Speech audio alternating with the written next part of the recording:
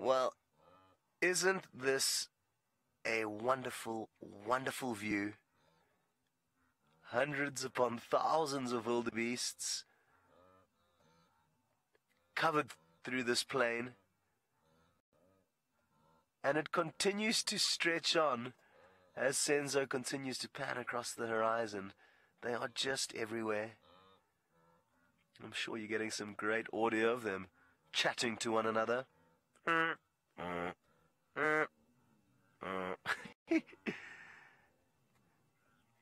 You you wonder how they actually know who to listen to or what they're saying when there are so many of them speaking simultaneously.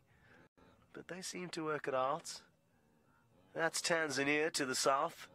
We're kind of on the Kenyan Tanzanian border here, so the further uh, the furthest views you get will be in Tanzania.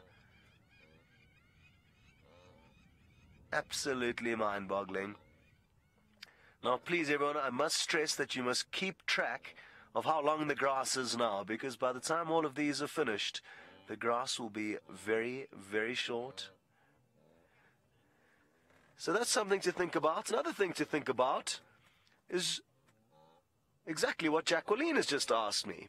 Once the wildebeest have left you, Jacqueline would be interested to know if the predators would follow them, if the predators also migrate with them.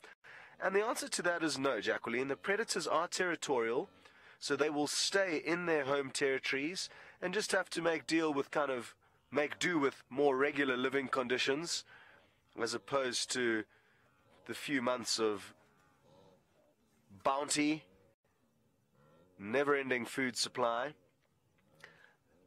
Although, having said that, Jacqueline, I have heard that some prides of lion do kind of partially, you could say, semi migrate, but it's nowhere near the distance these animals are coming. It's more of a kind of seasonal movement to try and cash in on the migration, and then they move further north away from the migration action once it's died down. Again, that is something that we will be able to explore and discover together in the next few months. Absolutely awesome. Beautiful vista, filled with animals.